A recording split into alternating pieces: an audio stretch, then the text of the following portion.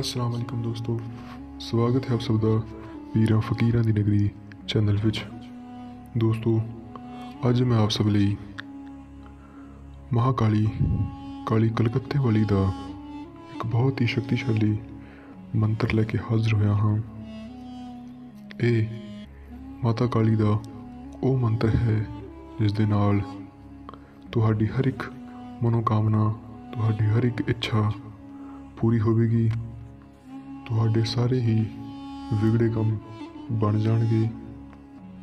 ਤੁਸੀਂ ਜੋ ਵੀ ਮਾਤਾ ਕਾਲੀ ਤੋਂ ਮੰਗੋਗੇ, ਮਾਤਾ ਮਹਾਕਾਲੀ ਤੁਹਾਡੀ ਹਰ ਇੱਕ ਮਨੋਕਾਮਨਾ ਜ਼ਰੂਰ ਪੂਰਨ ਕਰਨਗੇ। ਕਿਉਂਕਿ ਦੋਸਤੋ, ਜਿਹੜੇ ਵੀ ਭਗਤ ਮਾਤਾ ਕਾਲੀ ਦੇ ਇਸ ਮੰਤਰ ਨੂੰ ਸੱਚੇ ਦਿਲੋਂ ਪੜ੍ਹਦੇ ਨੇ, ਇਸ ਮੰਤਰ ਦਾ ਜਾਪ ਕਰਦੇ ਨੇ, ਉਹਨਾਂ ਦੇ ਘਰ ਵਿੱਚ ਹਮੇਸ਼ਾ ਸੁੱਖ ਸ਼ਾਂਤੀ ਬਣੀ ਰਹਿੰਦੀ ਹੈ। ਹਮੇਸ਼ਾ ਉਹਨਾਂ ਦੇ ਘਰ ਦੇ ਵਿੱਚ ਧਨ ਦੀ, ਪੈਸੇ ਦੀ ਬਰਕਤ ਰਹਿੰਦੀ ਹੈ। ਕਿਸੇ ਦੀ ਬੁਰੀ ਨਜ਼ਰ ਨਹੀਂ ਲੱਗਦੀ, ਕਿਸੇ ਦਾ ਕੋਈ ਵੀ ਜਾਦੂ ਟੋਣਾ ਉਹਨਾਂ ਤੇ ਨਹੀਂ ਚੱਲਦਾ ਹੈ।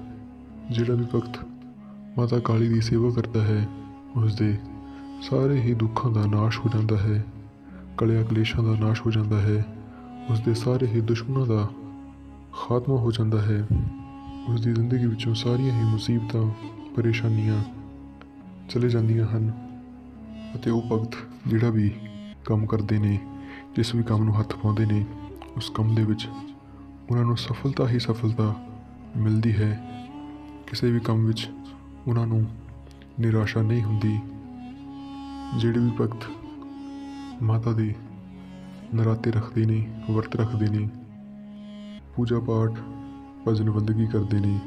ਉਹਨਾਂ ਤੇ ਸਦਾ ਹੀ ਮਾਤਾ ਰਾਣੀ ਦੀ ਕਿਰਪਾ ਰਹਿੰਦੀ ਹੈ।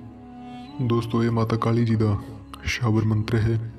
ਇਸ ਲਈ ਇਸ ਮੰਤਰ ਨੂੰ ਸਿੱਧ ਕਰਨ ਦੀ ਜ਼ਰੂਰਤ ਨਹੀਂ ਹੈ। ਬਸ ਤੁਸੀਂ ਇਸ ਮੰਤਰ ਦਾ ਸੱਚੇ ਦਿਲੋਂ ਨੇਕ ਨੀਤੀ ਦੇ ਨਾਲ ਜਾਪ ਹੀ ਕਰਨਾ ਹੈ।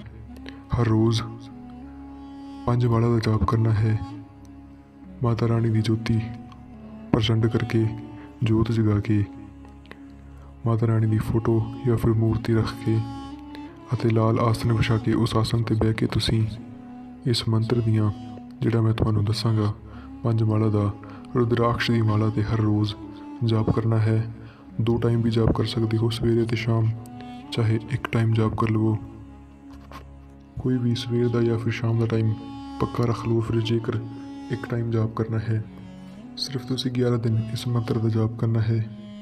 ਅਤੇ 11 ਦਿਨ ਤੁਸੀਂ ਜਿਹੜੀ ਵੀ ਮਨੋਕਾਮਨਾ, ਜਿਹੜੀ ਵੀ ਇੱਛਾ ਆਪਣੇ ਮਨ ਦੇ ਵਿੱਚ ਧਾਰ ਕੇ ਬੈਠੋਗੇ, ਆਪਣੇ ਮਨ ਵਿੱਚ ਜਿਹੜੀ ਵੀ ਇੱਛਾ ਧਾਰ ਕੇ ਤੁਸੀਂ ਇਸ ਮੰਤਰ ਦਾ ਜਾਪ ਕਰੋਗੇ, ਤੁਹਾਡੀ ਉਹੀ ਇੱਛਾ, ਤੁਹਾਡੀ ਮਨੋਕਾਮਨਾ ਜ਼ਰੂਰ ਪੂਰੀ ਹੋਵੇਗੀ।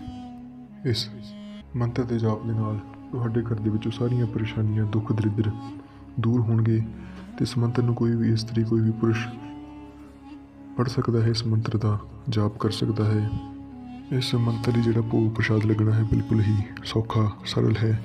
ਤੁਸੀਂ ਹਰ ਰੋਜ਼ ਕੱਚੇ ਦੁੱਧ ਦੇ ਨਾਲ ਮਠਿਆਈ ਦਾ ਭੋਗ ਲਵਾਉਣਾ ਹੈ। ਕੱਚੇ ਦੁੱਧ ਨਾਲ ਮਠਿਆਈ ਦਾ ਭੋਗ ਮਾਤਾ ਕਾਲੀ ਨੂੰ ਲਵਾਉਣਾ ਹੈ ਅਤੇ ਜਾਪ ਕਰਨ ਤੋਂ ਬਾਅਦ ਤੁਸੀਂ ਉਹ ਮਠਿਆਈ ਤੇ ਕੱਚਾ ਦੁੱਧ ਕਿਸੇ ਦਰਵੇਸ਼ ਨੂੰ ਪਾ ਦੇਣਾ ਹੈ। 11 ਦਿਨ ਤੱਕ ਲਗਾਤਾਰ ਤੁਸੀਂ ਇਹ ਕੰਮ ਕਰਨਾ ਹੈ, ਇਹੀ ਭੋਗ ਪ੍ਰਸ਼ਾਦ ਦੇਣਾ ਹੈ ਤੇ ਮੰਤਰ ਜਾਪ ਕਰਨਾ ਹੈ, ਪੰਜ ਮਾਲਾ ਦਾ ਜਾਪ ਹਰ ਰੋਜ਼ ਜ਼ਰੂਰ ਕਰਨਾ ਹੈ। ਹੋ ਸਕੇ ਤਾਂ ਸਵੇਰੇ ਸ਼ਾਮ ਪੰਜ ਪੰਜ ਮਾਲਾ ਦਾ ਜਾਪ ਕਰ ਲਵੋ। ਉਸ ਨਾਲ ਤੁਹਾਨੂੰ ਹੋਰ ਵੀ ਜ਼ਿਆਦਾ ਫਾਇਦਾ ਹੋਵੇਗਾ। ਦੋਸਤੋ, ਜਿਸ ਮੰਤਰ ਦਾ ਤੁਸੀਂ ਜਾਪ ਕਰਨਾ ਹੈ, ਹੁਣ ਤੁਸੀਂ ਉਹ ਮੰਤਰ ਸੁਣ ਲਵੋ ਅਤੇ ਨੋਟ ਕਰ ਲਵੋ।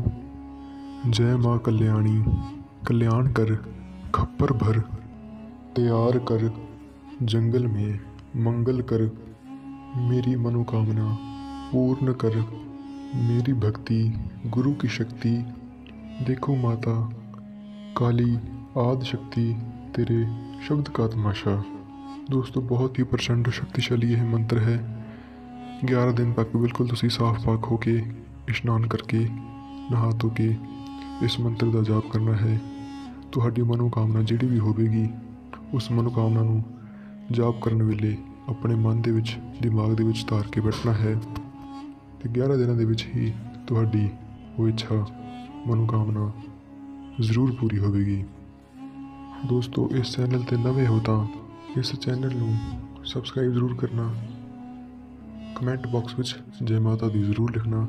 ਇਸੇ ਤਰ੍ਹਾਂ ਦੇ ਕਲਮੇ ਮੰਤਰ ਪਾਠ, ਦੁਆ ਫਰਿਆਦ ਆਪ ਸਭ ਲਈ ਲੈ ਕੇ ਹਾਜ਼ਰ ਹੁੰਦੇ ਰਹਾਂਗੇ। ਸੋ ਮਿਲਦੇ ਹਾਂ ਅਗਲੀ ਵੀਡੀਓ ਦੇ ਵਿੱਚ। ਜੈ ਪੀਰਾਂ ਦੀ